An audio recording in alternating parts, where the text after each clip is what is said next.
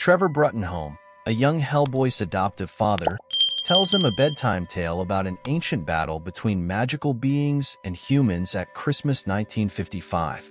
The goblin blacksmith once proposed to the elven monarch Balor to construct an unbreakable mechanical army.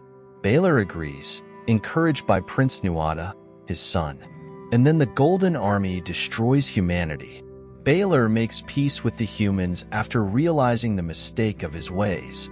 There are three parts to the crown that unites the Golden Army and can only be worn by a person of royal lineage. Nuada goes into exile because she doesn't agree with the truce. A year after thwarting the schemes of the wicked sorcerer Grigori Rasputin to call forth the demonic forces known as Ogdru Jihad and bring about Armageddon, A. Nuada makes a comeback and starts to assemble the fragments of the crown. He kills his father to obtain the second piece after obtaining the first piece from an auction by sending Tooth fairies loose to devour the crowd. Princess Nuala, his twin sister, makes off with the last fragment. Meanwhile, demonic special agent Hellboy of the Bureau for Paranormal Research and Defense, BPRD, is having problems with his love Liz and doesn't appreciate that their company has to run in secret. As he looks into the auction carnage, Hellboy lets the world see who he really is. Abe Sapien finds out during the chaos that Liz is pregnant, but she promises to keep it a secret. Tom Manning's superiors send Johann Kraus, an ectoplasmic medium, to restrain Hellboy since they are furious with him for his conduct. Kraus leads the group in their pursuit of the Tooth Fairies, leading them to a hidden troll market beneath the Brooklyn Bridge. After discovering Nuala, who has a map that leads to the Golden Army, Abe develops feelings for her.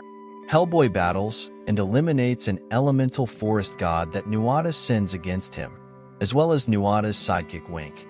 Nuada wonders during the battle why he fights for the humans when they have forced the magical creatures, of which he is one, into hiding. Nuala is brought under the protection of BPRD. With the help of their magical bond, which also allows them to share wounds and sense each other's thoughts, Nuada utilizes his sister's location to find the BPRD headquarters. Before Nuada discovers her and confronts Hellboy, Nuala hides the last piece of the crown. After severely wounding Hellboy with his spear, Nuada kidnaps Nuala and demands that she return for the crown piece. Liz and Abe decide to take Hellboy to the location of the Golden Army in the Giant's Causeway in Northern Ireland after being unable to extract the spear shard from his wound. As he approaches Liz and expresses sympathy, Kraus reveals that he had lost his wife in the same tragedy that resulted in the loss of his own body. They come upon the master blacksmith of the Bethmoora goblins, who summons them before the angel of death in order to reclaim the spear shard. Liz begs for Hellboy's life despite being informed that she will suffer the most, and that if he lives, he will bring about the end of humanity. After taking the shard out of Hellboy's chest, the angel requests that Liz give him a cause for survival. Hellboy becomes better after she tells him he's going to become a father. The group follows the goblin to the Golden Army's final resting place, where Nuada is waiting for them. After Nuada awakens the Golden Army, Abe gives him the final fragment of the crown. Nuada is challenged by Hellboy to lead the army.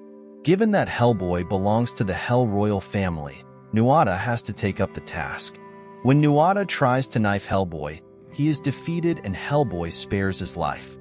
Nonetheless, Nuala ends her own life to stop her brother, and the dying Hellboy is informed by Nuada that he must decide between the death of magical beings and humanity. Before Nuala passes away, Abe communicates his feelings to her psychically. Liz melts the crown with her pyrokinesis, permanently extinguishing the Golden Army. After Liz, Abe, Johann, and Hellboy leave the BPRD. Hellboy muses on his future with Liz and their child. Liz corrects him, telling him she's expecting twins.